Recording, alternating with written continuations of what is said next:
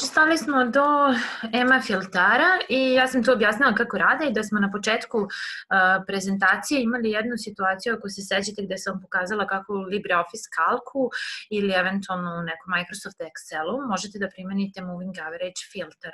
Ono na što sam vam skrenula pažnju jeste da je rezultujući signal koji je filtriran, I to možete ovde da vidite, uh, spominjali smo negde da EMA filter zapravo vrši smoothing signala ili peglanje, znači kada na ovaj signal primenite EMA filter određene, u određenom intervalu, određene dužine prozora, možete da dobijete ovako jedan filtriran EKG signal.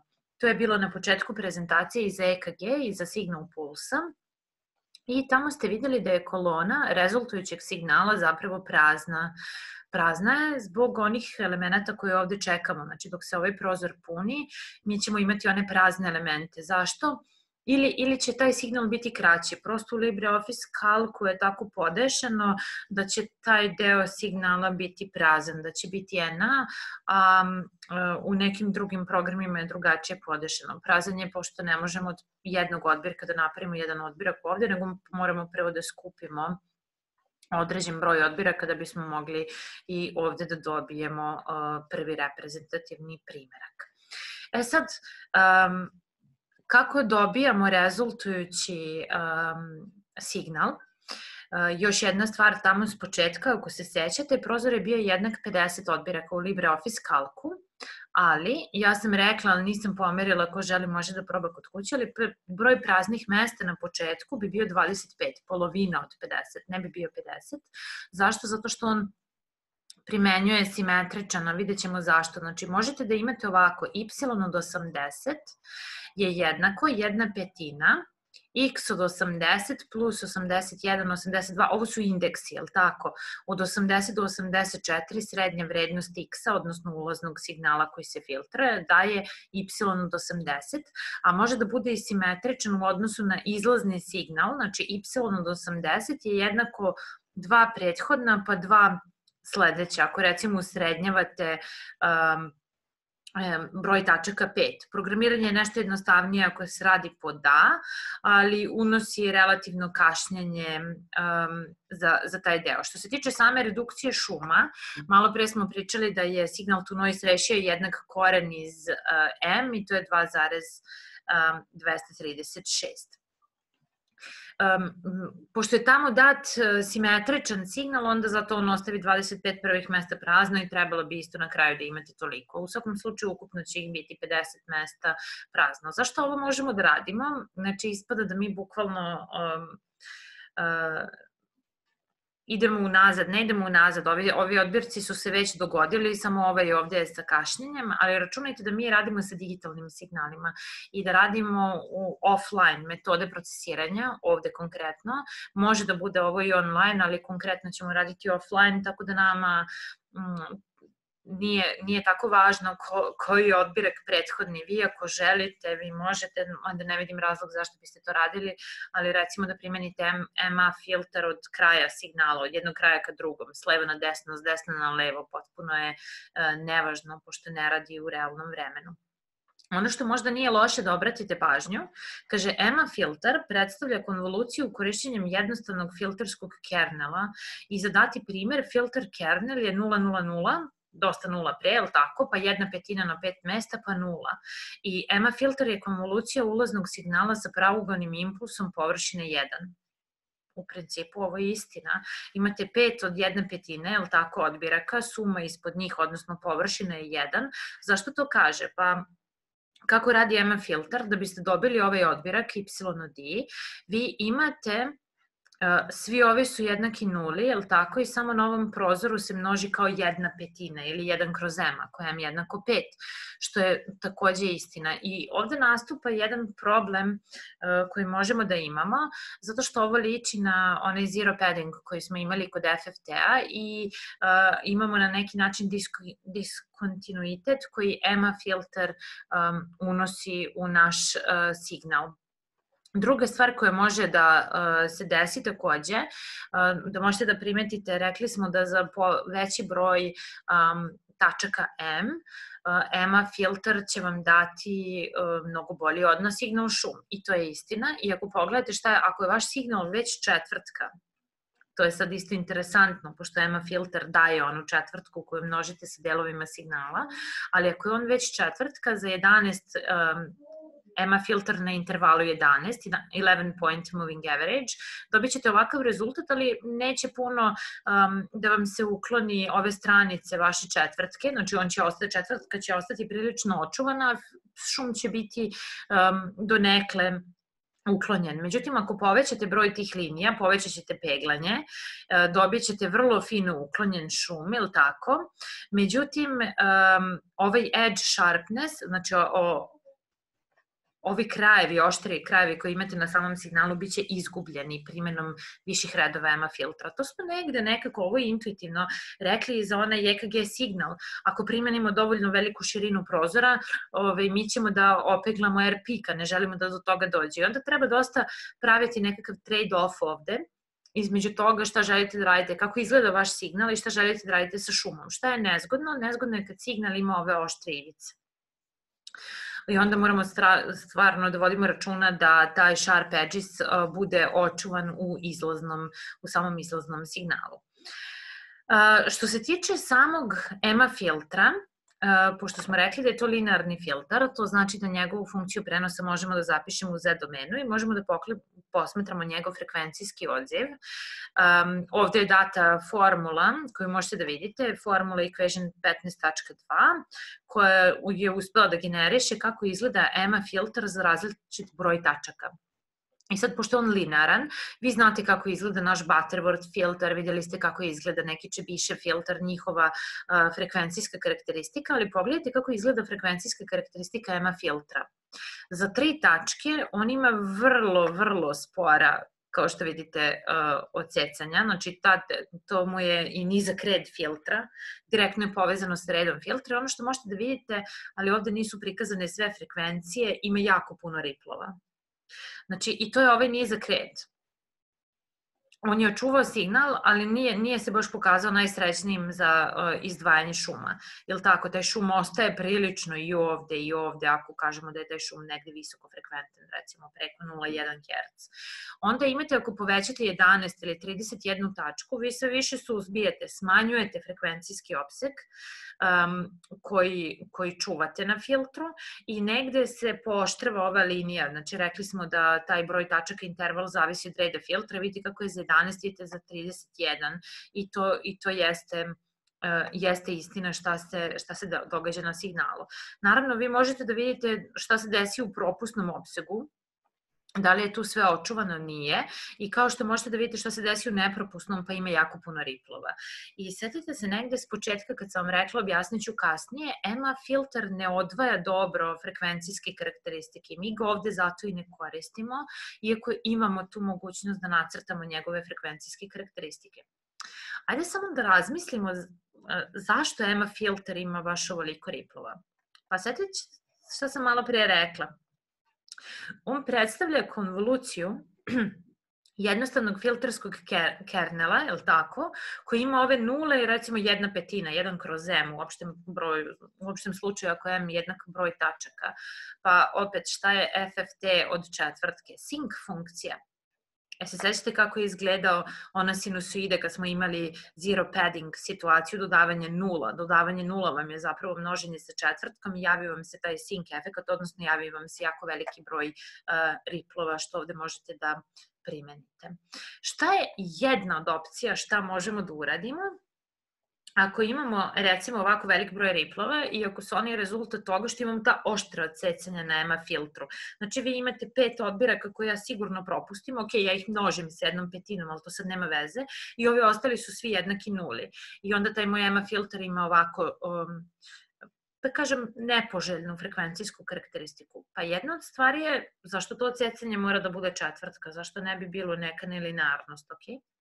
E, pre nego što vidimo koje su to nelinarnosti, znači kako možemo da poboljšamo EMA filter, možda nije loše da vidimo kako može da se zapiše uh, Z transformacija EMA filtra, pošto smo rekli da je on um, linaran, znači možemo da napišemo funkciju prenosa. y od m u opštem slučaju jednako suma kao od 0 do n, ali tako, n je red filtra, odnosno dužina prozora. Malo pre smo imali veliko m, sad veliko n, malo se menjaju ove oznake, ali treba da znate da se odnosi na isto. bk puta, bk su neki koeficijenti. Malo pre su bili jedan kroz n, ali u opštem slučaju, ako ćemo malo da pravimo taj nagib, jel tako, ako nećemo baš da budu ta stroga odsecanja, onda BK ostavimo da bude BK, jel tako, nećemo da ga menjamo jedan kroz n, puta x od n minus k, x je ulazni um, signal. I uh, naravno trenutni y zavisi od ovih prethodnih, jel tako. I mi možemo da napravimo Z transformaciju i funkciju prenosa EMA filtra gde je H od Z, sećate se, ovo smo radili kad smo pričali o tome kako filtrujemo određenim koeficijentima, y od Z kroz x od Z, suma K je jednako 1 od 0 do n bk z na minus k. I naravno to možete da napišete kao pojedinačan zbir. E sad, da se vratimo pošto je ova formula se odnosila i na prozore, i na četvrtku, i na prozoru, u zavisnosti šta nam je BK, da vidimo kakav je taj K.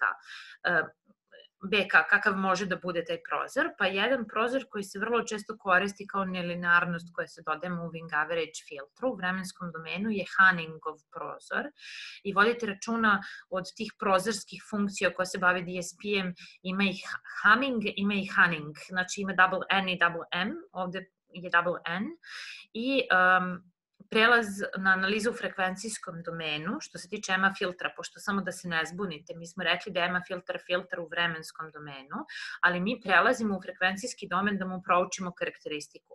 I recimo, uh, samim tim prelaskom u frekvencijskom domenu mi smo uspeli da vidimo kako izgledaju karakteristike EMA filtara za različit red, odnosno taj red je zapravo interval, dužina intervala u odbircima i zaključili da možemo da ga popravimo tako što ovo BK više neće biti 1 kroz N ili M, ili tako kao što je tamo bila jedna petina, a M je bila jednako 5, nego hoćemo da dodamo nekakvu nelinearnost Hanningov uh, pro, prolaz. Uh, Analiza sistema je jednostavnija naravno u frekvencijskom domenu i to je jedan od razloga zašto, zašto to radimo. I sad, um, ajde da se fokusiramo na jedan uh, EMA sa Hanningovim prozorom. Ovde je dat. Um, mislim da se lepo vidi, pošto sam ja ovo kopirala iz nekih starijih materijala, ali mislim da, da je čitljivo.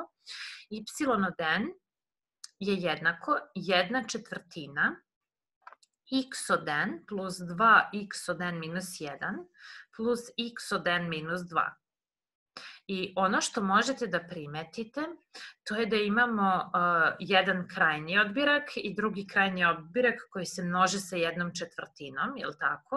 I imamo srednji koji se množi sa jednom polovinom, što znači da mi ovde, ovo je pokazano na relativno malom prozoru, jel tako, prozor je ovde jednak 3, red je jednak 3, ali umesto da imamo ravnu četvrtku koja vrši ocecanje, pa da ovde bude jedna trećina puta x od n plus jedna trećina plus jedna trećina puta, jel te, x od n minus 1 i n minus 2, mi sad imamo da je prvi nešto viši i da su druga dva nešto niže i zapravo već smo napravili jednu nelinearnost najjednostavniju sa tri odbirka primjenom Hanningovog prostora.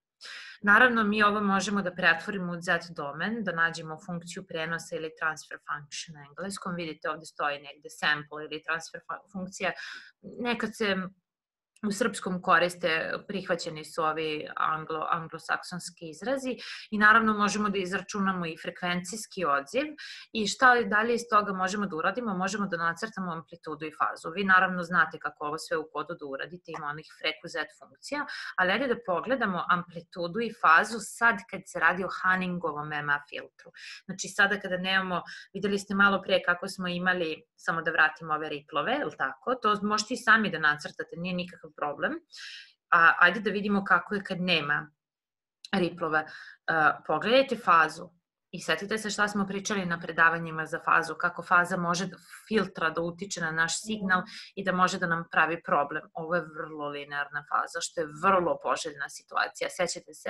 I ono što takođe možemo te da primetite, pogledajte kako je očuvan ovaj opseg, Pogledajte kako, je, e, kako izgleda potpuno drugačije odsecanje. Naravno, ovo je data karakteristika u decibelima, ali nije više onako kao malo pre, zar ne? Znači, nemate više nekakve riplove um, koje su poticali od one pravog, one sync funkcije. Sad imamo vrlo, vrlo drugačiju uh, karakteristiku filtra. Tako da EMA filter možemo poboljšati dodavanjem Hanningovog, najčešće Hanningovog prozora, ali i um, neli, nelinearnim tim prozorom, samo da nije, da nije četvrtka. I što se tiče većeg reda, recimo ako imate red 8 filtra, usrednjavanje na prozoru dužine n, vi možete recimo da napravite ovako nešto, izlazi nekakav izlaz iz EMA filtra i čak i rekurzivnu formu filtra za koju biste dobili ovu funkciju prenosa. Rekurzivnu u kom smislu?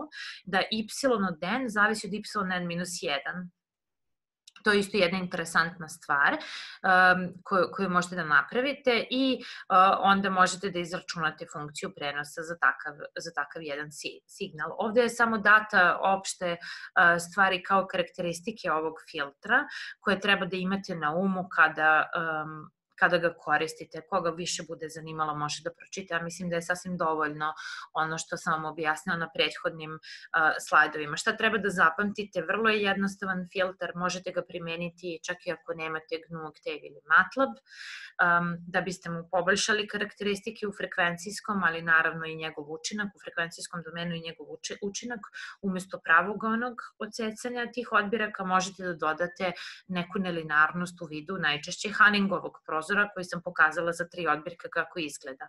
Ono što je jako zgodno kod ovog filtra, nemojte da zaboravite, to je da je faza linearna i da imate u potpunosti očuvan originalni signal, a mi smo pričali koliko nam je to važno. E sad jedna, pre nego što pređemo na treći filtr koji treba danas da završimo zajedno sa ovim časom, jedna kratka napomena. Um, EMA filter je vrlo jednostavan da se izvede. Znači, kako ćete vi da ga realizujete u kodu? Pa, pošto je on linaran, možete da mu izračunate. Linaran je čak i kad se doda Hanningov prozor, jer i dalje možete da mu odredite funkciju prenosa.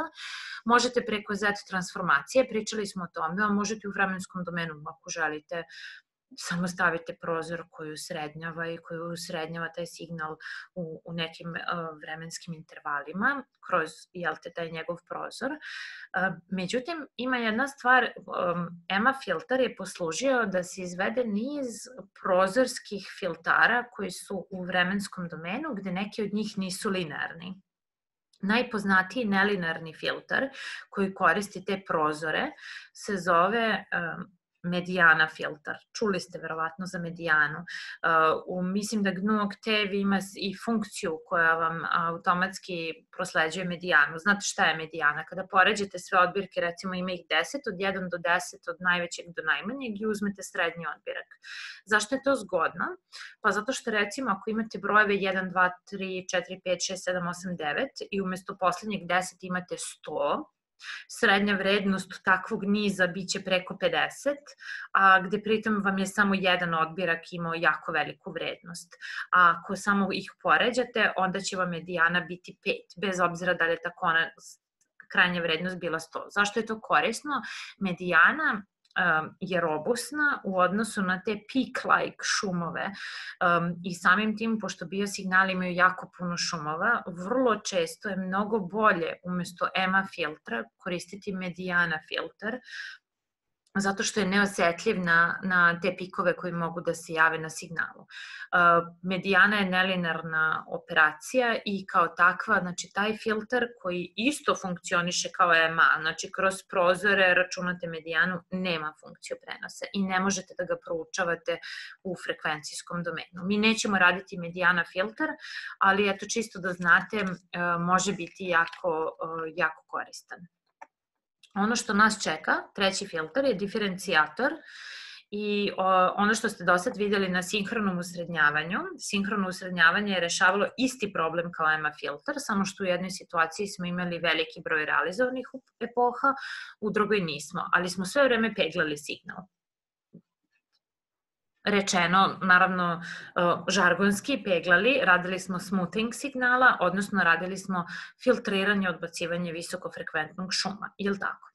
Međutim, zamislite da je problem sledeći, da treba da se razvije tehnika u vremenskom domenu za potiskivanje drifta u EKG signalu, to jest jednosmerne komponente i bazne linije. Mi smo što se tiče odstranjivanja bazne linije signala već radili jednu jako zanimljivu metodu. Svi ste već predali laboratorijske vežbe, radi se o polinomijalnom fitovanju. Međutim, takođe možemo da koristimo i nekakve druge metode za uklanjanje DC komponenti i okoline koje je bliska toj DC komponenti. To je recimo diferencijator u vremenskom domenu. Um, filtriranje tih niskofrekventnih artefakata je moguće i uh, ono što je nama karakteristično to je da operator diferencijacije D po DT daje um, filter visoko, uh, visokopropusnik i ne propušta DC komponentu kao i potiskujete neke niže učestanosti u okolini DC komponente. Ulazni signal FOT daje J omega gde je H od 0 jednako 0, što znači da ne postoji DC komponenta. Ajmo to samo ovako da zamislimo. Šta zapravo radi diferencijator? Kada biste diferencijirali nekakav signal, vi biste dobili, to vam je kao da imate pređeni put, diferencirate, dobijate brzinu i vi biste, ako biste diferencirali signal, dobili brzinu promene signala u vremenu. Što je sasvim ok, D po DT u vremenu posmatramo tu promenu. E sad, ako imate drift, jednosmernu komponentu, recimo vaš EKG, tu imali smo te situacije ako se sećate, ne osciluje oko nule, već oko recimo 1 ili 2 volta ili ima nekakav drift koji je konstantna linija, izvod od konstante kada, kada diferencirate konstantno, od toga dobijete nulu. I logično je da, da ćemo da filtriramo samu DC komponentu, pošto um, ono što je zgodno kod ovog operatora to je da ne samo da će da nam potisne DC komponentu, nego može da nam potisne i okolinu uh, nule. I ajde da vidimo kakav bi bio nekakav vremenski oblik ovog signala. Pa recimo vremenski oblik bi bio takav da bismo y od n, naš rezultujući odbirak, dobili kao 1 kroz t, x od n minus x od n minus 1, zavisi od trenutnog i prethodnog odbirka, mogli bismo da napravimo funkciju prenosa i da nacrtamo frekvencijski odziv i fazu. I ajde sad samo pogledajte kratko kako izgleda um, faza.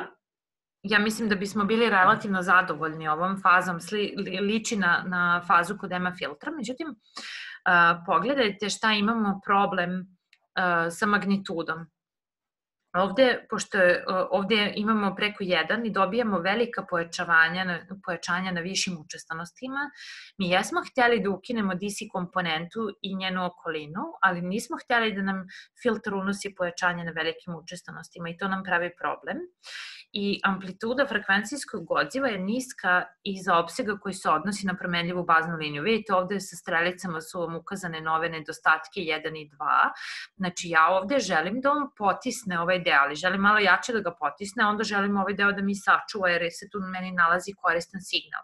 Znači bez obzira što je diferencijator sigurno ukinuo nula DC komponentu, je li tako? Um, ovu nulu, tu nema ničega. Um, nisam zadovoljna kako mi radi na ovim višim frekvencijama. I šta je sad rešenje za ovakvu jednu situaciju, pošto ovde se radi o diferencijalnom operatoru prvog reda? Rešenje je da poboljšamo na neki način ovaj filter. Ajde da vidimo ovo. Kaže, šum na visokim učestanostima se pojačava. Rešenje možemo da usrednjavamo dve sukcesivne vrednosti. Znači, y od n može da zavisi od jedna polovina y od n plus y od n minus 1, je li tako? Pa ako srednjavamo te dve vrednosti, možemo čak i da napišemo funkciju prenosa, to je kao da smo iskombinovali EMA filter, je li tako? Diferencijalni operator prvog reda i EMA filter i dobija se jedan filter onova, koji izgleda ovako. Faza je, primetite, sve vreme ravna, linearna, Znači, i dobili smo jedan signal, pošto ima filter, niskopropusnik, ovaj visokopropusnik, kada iskombinujemo ta dva, dobijemo band pass, je tako, BP filter, filter propusnik opsega i ovaj se naziva vrlo često filter centralne, centralne razlike. Ono što na njemu možete da vidite, nema nikakvih riplova, ali takođe problem može da mu bude što slično kao i Butterworth filter nema neko jasno cecanje ovih opsega. Takođe uzmite u obzir i da smo uzeli samo red 2 za EMA filter. E sad, šta je bio drugi nedostatak koji smo imali? Znači, kada iskombinamo diferencijator i EMA filter, možemo da rešimo ono pojačanje na visokim frekvencijama i to je jedan od načina kako da se borimo sa tim. Međutim, nedostatak broj 2 je, kaže, amplituda frekvencijskog odziva je niska iza opsega koji se odnosi na promenljivu baznu liniju i mi želimo da te frekvencije budu potisnute, ove druge propuštene. Sad ću samo da vas podsjetim na nedostatak broj 2 Evo ga ovde, znači pokazani su strelicama nedostatak broj 1 koji smo rešili dodavanjem EMA filtra i nedostatak broj 2.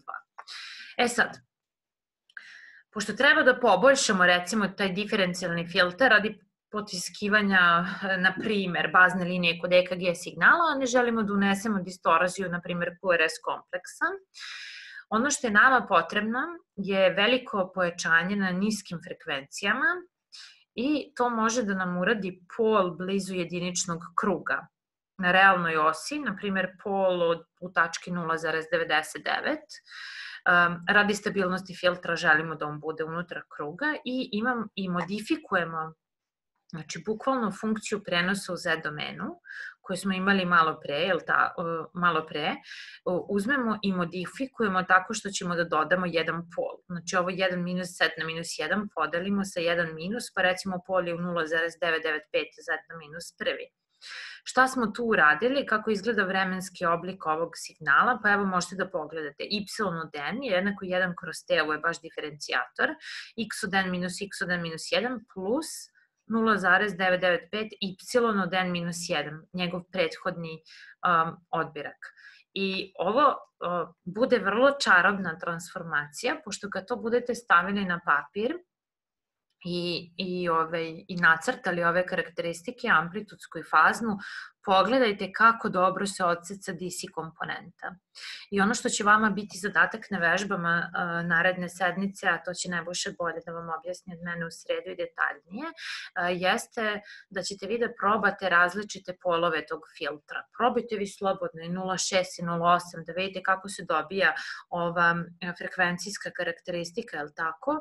A ovo je recimo za 0,99 5. Ovo je ona generalna forma filtra u kojoj treba da stavite, da otkucate kako izgleda ovaj modifikovani diferencijalni filter prvog reda.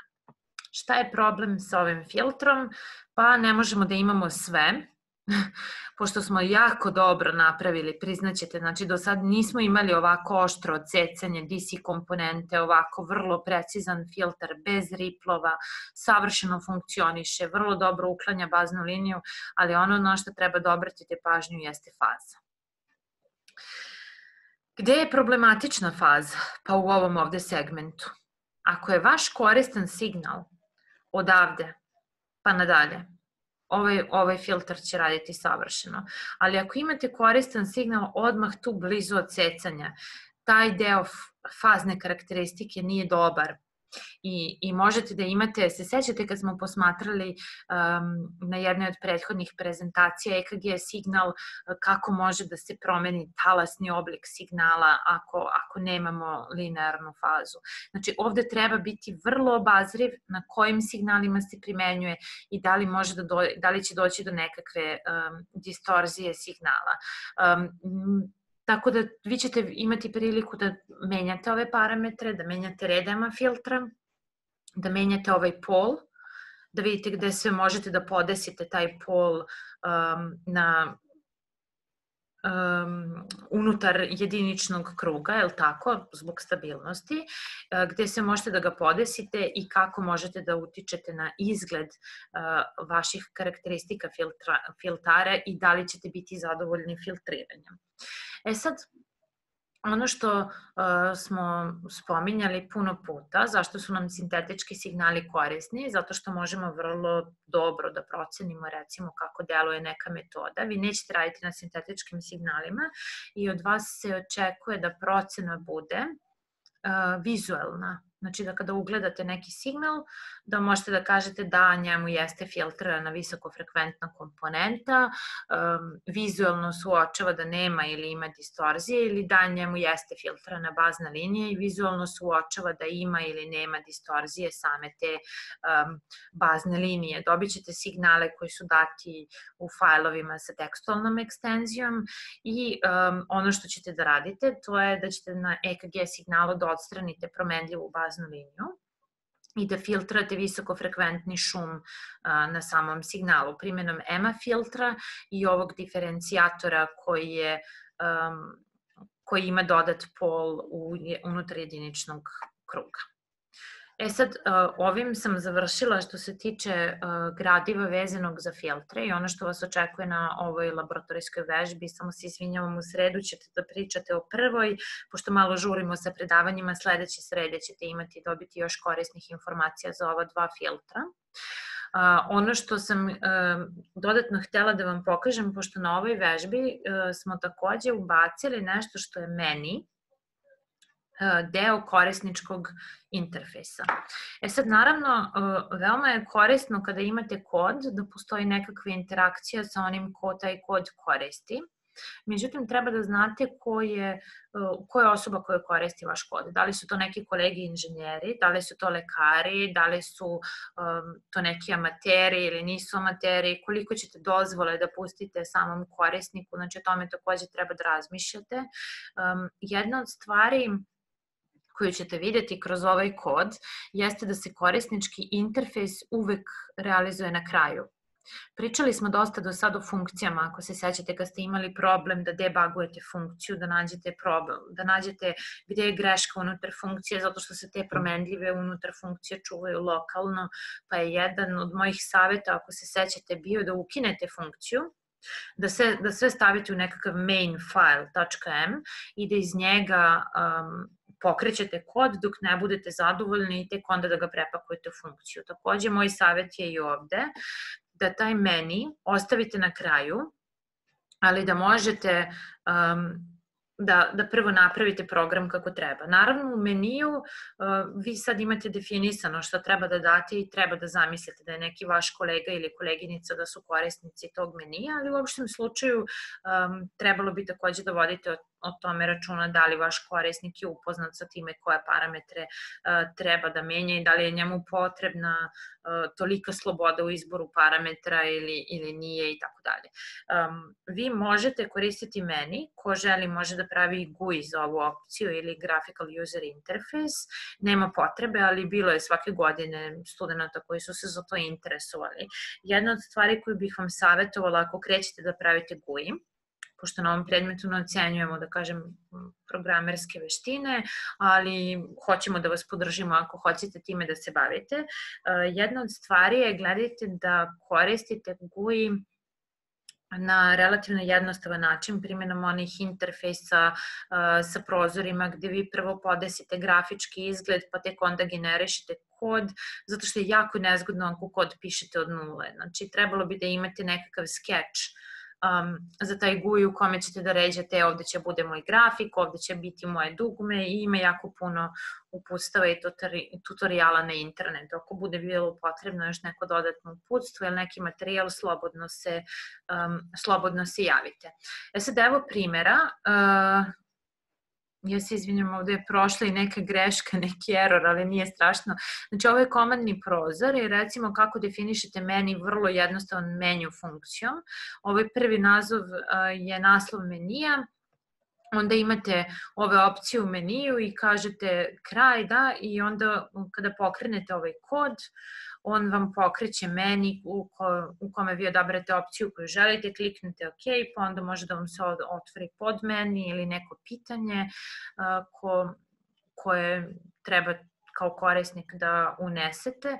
I obratite pažnju samo šta ovde sve piše, izaberete signal, znači imamo u meniju posebnu opciju za učitavanje signala, potom za sliku signala, za filtriranje bazne linije gde će verovatno korisnik odabrati gde se nalazi onaj pol diferencijatora, EMA filter signala, gde će korisnik verovatno da odredi uh, koliki je red filtra ili dužina onog intervala na kome se vrši EMA filtriranje i na kraju ima nekih interesantnih stvari kao što je sačuvati sliku, um, sačuvati filtran signal, da, to je isto interesantno. Mi smo do sad samo učitavali uh, signale iz fajlova, sad ćete imati priliku da ih snimate u fajlovima za kasnije korišćenje i na kraju kraj koji bi trebalo da izađe iz ovog um, menija. Ja sam naravno ovo treba da stoji u nekom M fajlu, ali ja sam čisto primjer radi to pokazala iz komandnog prozora. Jedna od stvari koja vam takođe može biti korisna um, jesu ovaj input dialog box koji zapravo takođe predstavlja deo um, neke vrste grafičkog korisničkog interfejsa, pa pošto će vas tamo sigurno pitati kada idete na deo uh, EMA filter signala ili filter bazne linije, uh, koliki su parametri za primenu tih filtara, vi možete ovde da unesete um, ja sam dala primjenu, unesite vašu ocenu, mislim. I ono što takođe možete da unesete, imate podrazumevanu vrednost, to vam je moj savet obavezno da koristite, um, podrazumevanu vrednost, zato što nekad ako korisnik ne unese, prosto da, da može da se ide dalje sa kodom.